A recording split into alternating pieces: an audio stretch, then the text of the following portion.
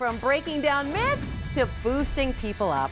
That's right, supporting federal workers is our first story trending now and we want to make sure we feed their soul. Well, we all know that the partial government shutdown has taken quite a toll on hundreds of thousands of American workers. And in an effort to help out, restaurants and small businesses are dishing out freebies to feed our furloughed friends. Regular old Americans are chipping in too, buying workers a beer on payitfurloughed.com and donating cash. More than 1,800 campaigns have popped up on GoFundMe, raising over $400,000 we felt that there was something that we needed to do. And large companies like wireless providers are stepping up with flexible payment plans. Not even furry friends will be forgotten during this trying time. Humane societies are serving up the kibble to pet owners in need. A big blessing. It saves us a lot of money. Now, another group of people who are not getting a paycheck, but most certainly earning one. Yeah, the Supermom salary is at number two. I don't have any friends.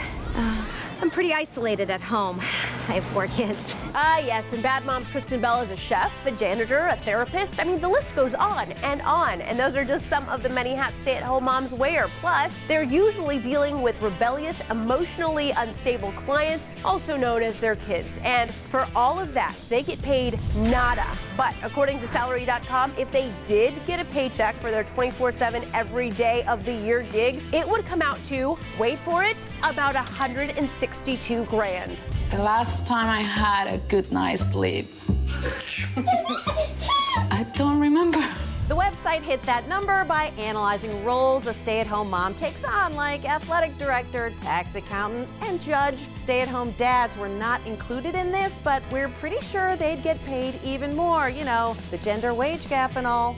Yeah, we moms keep things on the rails, but not as literally as, say, a railway company. Uh-huh, making tracks on Amtrak is at number three. Somewhere in America, a train is boarding. And Amtrak wants you to be on one. Their Amtrak Take Me There program is giving people free train rides on some of their most scenic long-distance routes around the country. The only catch, folks, you have to share your trip on social media. Welcome aboard. Thanks for riding with us today. Although the company says they're not looking for glitzy influencers with millions of followers, they do hope you're a leader in your social media community. Apply on Amtrak.com by January 31st. The winners will be announced on February 15th. We hope you ride again soon, and we'll see you on the rails. Teresa, they do say slow travel is back in style. They do, but that might be too slow if you are traveling with young ones. Yeah, add travel coordinator to the list of unpaid mom duties, right? Yes. Yeah. And that's what's trending now.